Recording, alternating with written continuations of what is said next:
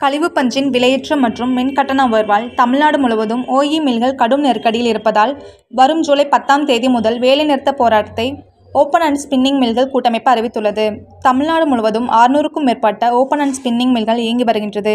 இவற்றின் நாள் ஒன்றிற்கு இருபத்தஞ்சு லட்சம் கிலோ கிரே நூல் மற்றும் பதினஞ்சு லட்சம் கலநூறுகள் உற்பத்தி செய்து நாடு முழுவதும் உள்ள விசைத்தறிகளுக்கு அனுப்பப்பட்டு வருகின்றன. இந்நிலையில் கடந்த பத்து மாதங்களாக கழிவு பஞ்சின் வெளியேற்றம் மற்றும் மின்கட்டண உயர்வால் தமிழ்நாடு முழுவதும் ஓஇ மில்கள் கடும் நெருக்கடியில் இருப்பதால் வரும் ஜூலை பத்தாம் தேதி முதல் வேலைநிறுத்த போராட்டத்தை ஓப்பன் அண்ட் ஸ்பின்னிங் மில்கள் கூட்டமைப்பு அறிவித்துள்ளது.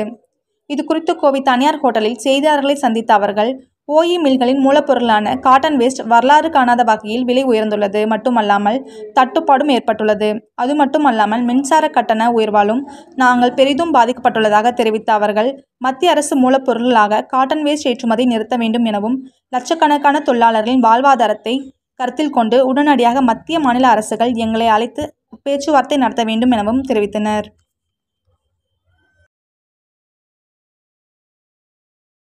காலை வணக்கம். இன்றைய ஓஸ்மாவின் பத்திரிகையாளர்கள் சந்திப்புக்கு வந்திருக்கும் அனைத்து பத்திரிகை துறை நிருபர்களையும் ஊடகத்துறை நிருபர்களையும் ஓஸ்மா சார்பாக வருக வருக என வரவேற்கிறேன். இன்று எங்களது open and spinning mill association OSMA பத்திரிகை நிருபர்கள் கூட்டம் இன்று நடைபெறுகிறது.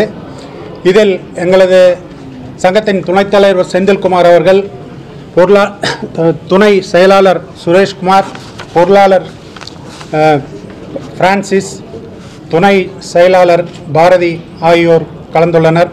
மற்றும் எங்களது இசி கமிட்டி உறுப்பினர்கள் இருபது பேர் இந்த பத்திரிகை கூட்டத்திற்கும் இசி மெம்பர்ஸ் மீட்டிங்குக்கும் வந்துள்ளார்கள்.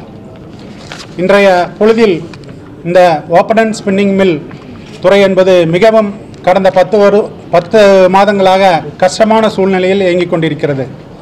அதற்கு மிக முக்கிய காரணம் மூலப்பொருள் விலை உயர்வு. இரண்டாவது மின்சார கட்டணம் ச சமீப காலத்தில் போன வருடம் உயர்த்தியதன் விளைவு.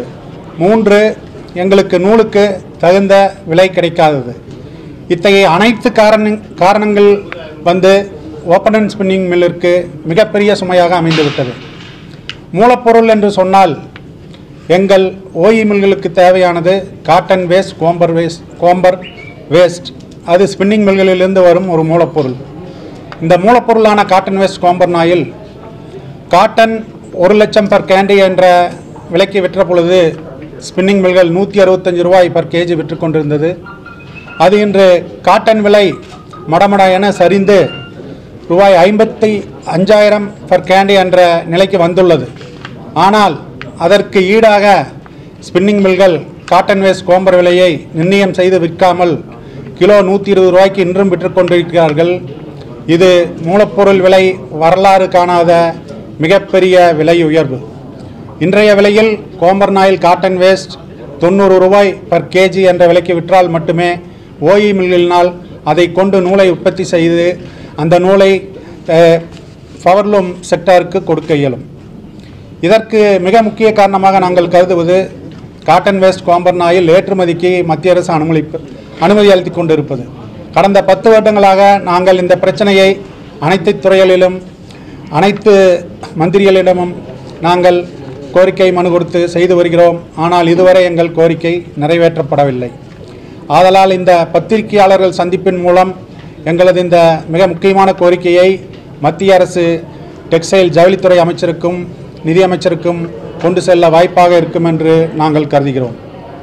பாயிண்ட் நம்பர் டூ எங்களது மிகப்பெரிய பிரச்சனை மின்சார கட்டணம். மின்சார கட்டணம் நமது மாநிலத்தில் கடந்த வருடம் உயர்த்திய பொழுதே அனைத்து கோவை மாவட்டத்தில் இருந்தாலும் சரி தமிழ்நாடு முழுவதும் இருக்கும் அனைத்து சங்கங்களும் போராடி நாங்கள் எங்களால் முடிந்தவரை மின்சாரத்துறை அமைச்சரை குறைந்தபட்சம் ஒரு ஐந்தாறு தடவை பார்த்து அவர் கண்டிப்பாக செய்து கொடுக்கிறேன் என்று சொன்னதன் காரணமாக நாங்கள் அப்பொழுது அதை அப்படியே விட்டுவிட்டோம். ஆனால் அந்த அவர்கள் நிர்ணயித்த மின்சார கட்டணம் அதிகப்படுத்தி இன்று தொழில் செய்து வருகிறோம். இதனால் நாங்கள் மற்ற மாநிலங்களுடன் போட்டி ஓட முடியவில்லை. ஃபார் எக்ஸாம்பிள் எல்டிசிடி என்ற குறைந்த தாழ்வழுத்த நுகர்வோருக்கு மின்சார கட்டணம் முப்பத்தஞ்சு ரூபாய் கடந்த வருடம் இருந்தது. அதை நூற்றி ஐம்பது ரூபாய் என்று நிலை கட்டணத்தை நூற்றி ஐம்பது ரூபாய் என்று மாற்றி அமைத்தார்கள். மேலும் அஹ், தாழ்வழுத்த மின்சாரத்திற்கு கடந்த இருபது வருடங்களாக என்றுமே உயர்ந்த அழுத்த மின்சார நுகர்வோரின் விலையை விட தாழ்வழுத்த மின்சார விலை குறைவாக இருக்கும்.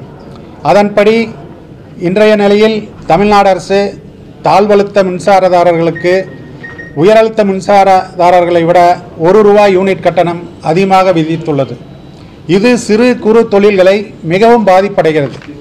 ஏனென்றால் உயரழுத்த மின்சார கட்டண இணைப்புதாரர்கள் பெரும்பாலானோர் ஐம்பது சதவீதத்திற்கு மேல் அவர்கள் விண்டுமில் எனர்ஜி வைத்திருக்கிறார்கள் சோலார்